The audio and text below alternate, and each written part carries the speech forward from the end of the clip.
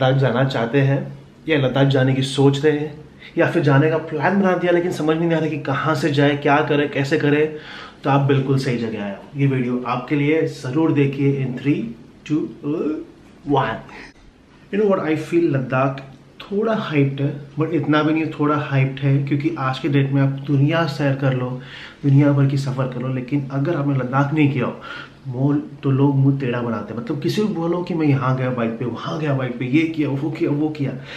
लेकिन सबसे बड़े सवाल हम यही पूछते हैं कि क्या भाई लद्दाख किया तूने? तो Ladakh has become like a benchmark for bikers तो लद्दाख जाने के दो रास्ते एक तो मनाली से है और दूसरा है श्रीनगर से तो आप पहली बार जा रहे हो तो I would prefer I would say कि आप प्लीज़ श्रीनगर से जाइए क्योंकि श्रीनगर का रास्ता थोड़ा बेटर है कंपेयर टू मनाली का रास्ता। मनाली का रास्ता इज़ वेरी डिफ़िकल्ट एंड उसमें तीन चार दिन लग जाते हैं लद्दाख पहुँचने के लिए। जहाँ श्रीनगर का रास्ता है, वहाँ पे सिर्फ़ दो दिन में आप लद्दाख पहुँच जाते हो। सो आई वुड से कि श्रीनगर का रास्ता कर लो। चाहिए तो आते वक्त आप मनाली से आ जाओ।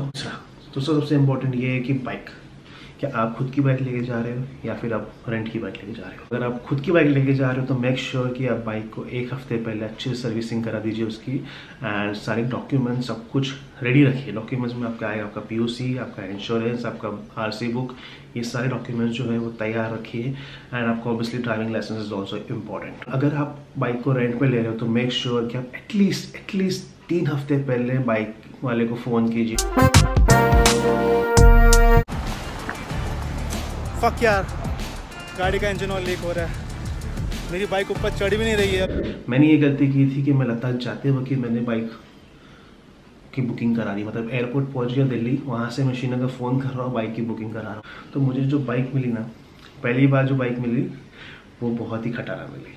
अब गलती बाइक वाले की भी थी नहीं, क्योंकि मैंने एक दिन पहले फ़ोन किया है मैं नेक्स्ट डे गया हूँ, उसके पास जो बाइक अवेलेबल थी, उसने मुझे दे दी। उसने कहा भी मुझसे कि this is a very old model तो मेक श्योर sure आप संभाल के जाइए। एंड वैसे ही हुआ कि मैं आधे रास्ते पहुँच गया। जोजिला पास के पहले मेरी बाइक चढ़ा पे चढ़ नहीं रही है। मतलब फ़र्स्ट गेयर पे बाइक है बाइक चढ़ नहीं रही है। चार पाँच लोगों ने मेरी मदद की, उसके बाद भी कुछ नहीं हो रहा। फिर मुझे घुमा के बाइक को फिर से श्रीनगर आना पड़ा। इसलिए कह रहा हूँ कि मेक श्योर sure आप बाइक को एटलीस्ट तीन चार हफ़्ते पहले ही एडवांस में बुक कर लीजिए। और ग्रुप में जा रहे तो बहुत बढ़िया है। मैं तो कहूँगा कि ग्रुप में ही चाहिए मैं तेरा पागलपंती मत जाकर जाने के लिए बिकॉज़ रास्ता बहुत लंबा है। एंड सुनसान है। तो अगर आप मेरे इंट्रोवर्ट नहीं हो, आप बोर हो जाओगे। एंड सेकेंडली अगर बाइक को गॉड फॉरवर्ड कुछ भी हो जाए, टायर पंक्चर हो गया या कुछ भी हो जाए तो आपकी मदद करने के लिए कोई है नहीं वहाँ पे। ये मुझे रियलाइज़ हुआ लद्दाख का टूर कंप्लीट करने के बाद।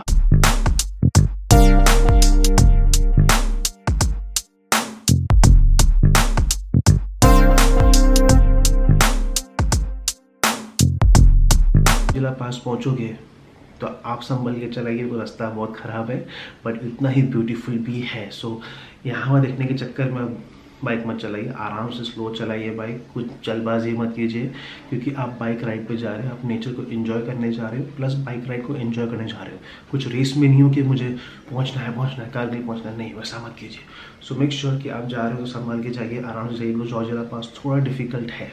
अब लद्दाख पहुँच के सबसे बड़ी, सबसे इंपॉर्टेंट चीज़ आपको जो करनी है, वो ये है कि अगर आप जैसे ही पहुँचे आप प्लीज़ ना स्मोक कीजिए, ना अल्कोहल पीजिए। वैसे भी अल्कोहल आपको पीना नहीं है बुरे ट्रिप में बिकॉज़ आप बाइक चला रहे हो। सो मेक श्योर कि आप अल्कोहल कंज्यूम ना करें।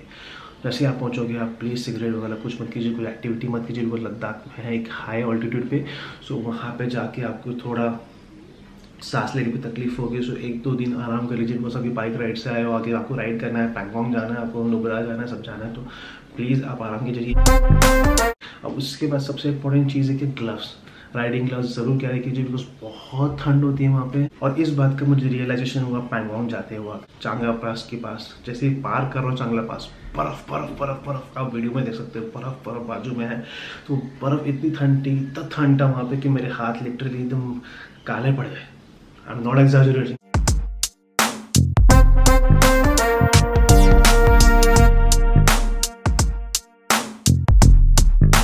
अच्छा सा ग्लव्स खरीद लीजिए 500-700 का ग्लव्स आता है। सेकेंड इज़ जैकेट और riding jacket is very important दो चीज़ों के लिए।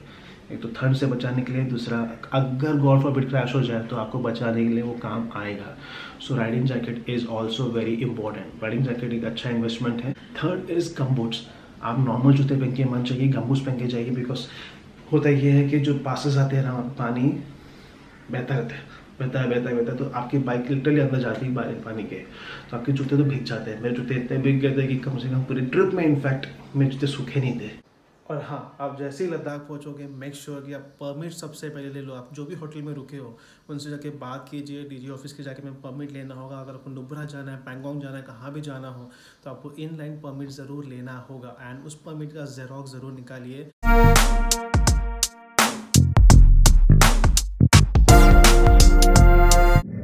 से ही जाइए। आते वक्त आप मनाली से आ सकते हो। अब आते वक्त मनाली आने का थोड़ा ट्रिक अगर आप अपनी बाइक पर जा रहे हो तो आप आ सकते हो। लेकिन अगर आप रेंट की बाइक पर जा रहे हो तो होता ये है कि अगर आपने श्रीनगर से बाइक ली है, लेकिन आते वक्त आपको अगर मनाली से आना है, वो सर्विस प्रोवाइड करते हैं, लेकिन उसका एक्स्ट्रा चार्ज होता है। बिकॉज़ आप जैसे ही मनाली पहुँचोगे तो मनाली से उनका एक राइडर लेके बाइक आएगा श्रीनगर में। सो so उसका आई गेस टेन थाउज़ेंड कुछ एक्स्ट्रा भरना पड़ता है। इस साल गोइंग समवेयर एल्स अभी समवेयर एल्स ये कहाँ है आपको कमेंट करके बताना है मुझे। एंड आई होप आपको समझ में आ गया लद्दाख के बारे में कि क्या करना है क्या नहीं करना है। एंड uh, आपको बताते बताते मुझे भी थोड़ी इच्छा होगी जाने की। But at this point of time staying at home is the only smartest thing that we all can do.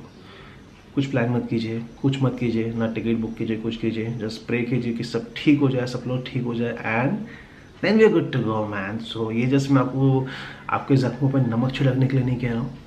ये मैंने ब्लॉग बनाया ताकि आपको डिटेल में समझ में आ जाएगी लद्दाख कैसे पहुँचे।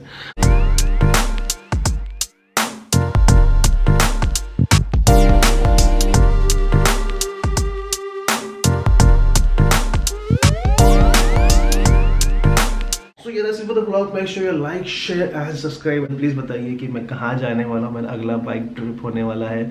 कहाँ पे? ये आपको बता रहे हैं। अब प्लीज़ कमेंट कीजिए यार, मज़ा आएगा कमेंट में कन्वर्जेशन करने के लिए, ठीक है? चलो फिर मिलते हैं catch my insta my insta is two point o bye